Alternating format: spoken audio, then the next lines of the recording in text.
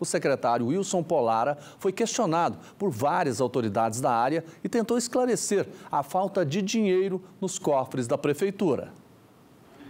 O relatório apresentado pelo secretário municipal de saúde, Wilson Polara, é de um gasto de 1 bilhão e 500 milhões de reais em oito meses, de janeiro a agosto deste ano. Nós precisamos rastrear para entender onde é que foi 713 milhões da saúde, porque além da folha de pagamento, a gente não consegue perceber esse recurso na prática cumprindo a função, que é atender com qualidade a população. Porque para as clínicas, hospitais e laboratórios parceiros, a verba não chegou e a paralisação a partir do início do mês de novembro pode ser inevitável. Alguns prestadores já diminuíram 50%, outros 30% e alguns outros vão suspender totalmente as agendas. Ele até tentou explicar, mostrando dados das internações durante o período apresentado, o custo de medicamentos, como por exemplo hormônios, e até as obras que não foram concluídas.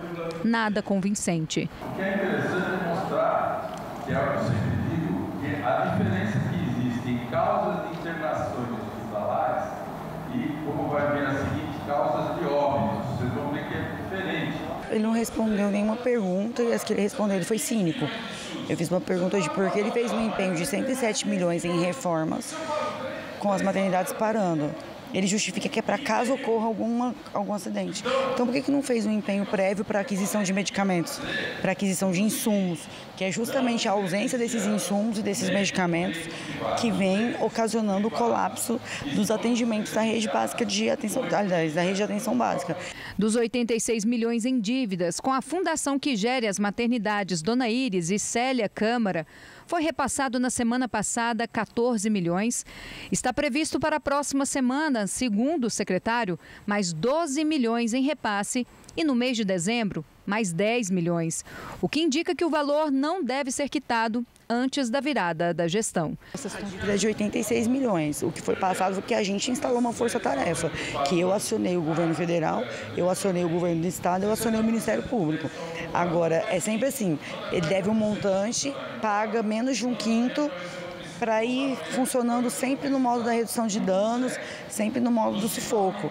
Então, é, não, quando ele alega, por exemplo, que a conta não vai fechar, essa foi uma decisão que a gestão tomou.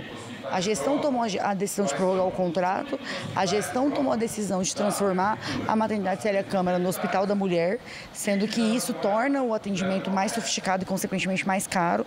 Então, as, as e aí ele, ele diz que o próximo prefeito vai dar conta de resolver, porque o próximo prefeito vai ter autonomia política. Do que, que ele está falando? Ele está dizendo que essa gestão não tem autonomia política, a gestão que ele faz parte.